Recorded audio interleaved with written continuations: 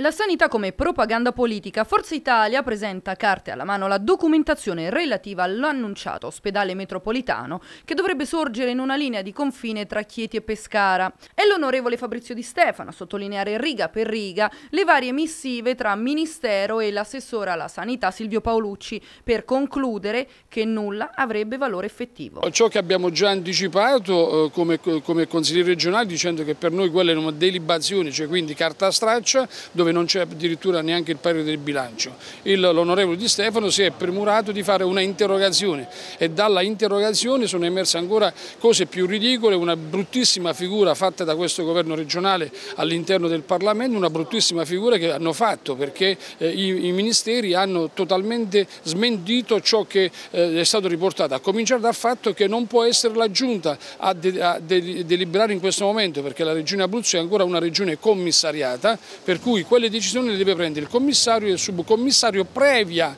previo accordo con, eh, con, il Ministero. Addirittura il Ministero non sapeva assolutamente nulla. Spiega Mauro Febo, si tratta di una semplice operazione di propaganda che arriva a ridosso delle elezioni di Chieti. Eh, credo che negli ospedali ci servano in altri territori, così come era stato programmato precedentemente, quindi a Lanciano, Vasto, eh, Avezzano, Sulmona e Giulianova e un presidio eh, su Penne. Questo, ripeto, è solo un modo eh, scorretto di entrare in gamba, a gamba tesa una competizione elettorale a cui lui non c'entra assolutamente nulla.